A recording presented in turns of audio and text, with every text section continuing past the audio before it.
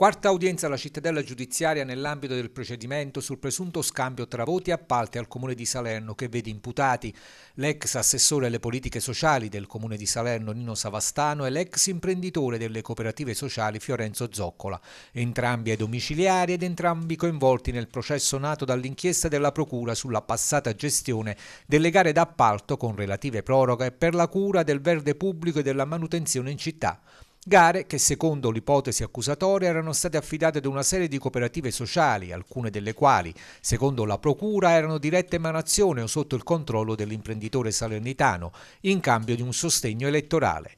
Siamo ancora nella fase che si può definire tecnica del processo, la quarta tappa di un procedimento che afferisce ancora alla fase preliminare nel quale si dovrà decidere sull'eventuale utilizzo delle intercettazioni che saranno oggetto di perizia, quelle conversazioni captate dagli investigatori finiti agli atti del procedimento. Dalla fase interlocutoria del processo, l'ultima udienza, la terza del 14 febbraio scorso, aveva trattato solo dell'ammissione delle prove di accusa e difesa, si passa comunque ad un momento che potrebbe essere dirimente per il proseguo dello stesso. L'ammissibilità o meno delle intercettazioni infatti diventa strategica per accusa e difesa segnando un punto a favore dell'uno o dell'altra parte nel caso in cui fossero usate o meno. L'udienza è fissata alle 15 di questo lunedì 4 aprile per Nino Savastano, difeso dall'avvocato Giovanni Annunziata, e per Fiorenzo Zoccola, difeso dagli avvocati Gaetano Manzi e Giuseppe Della Monica.